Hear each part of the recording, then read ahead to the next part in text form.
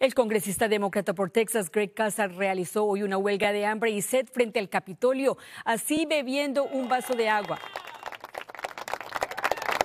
Así bebiendo un vaso de agua concluyó con su protesta durante al menos nueve horas. El legislador estuvo sin probar alimento, ningún tipo de bebida, ni tampoco se tomó un descanso. Todo esto para protestar contra la ley en su estado que anula los periodos de hidratación para quienes trabajan al aire libre. Estamos empujando y trabajando con el presidente para implementar una nueva, una nueva regla que nos proteja del calor, porque sabemos que en lugares como Texas, Arizona, Nuevo México, tenemos un calor horrible. Y por eso fui sin agua, sin comida, sin descanso aquí en el Capitolio todo el día. El congresista, quien es hijo de inmigrantes mexicanos, juró a principio de este año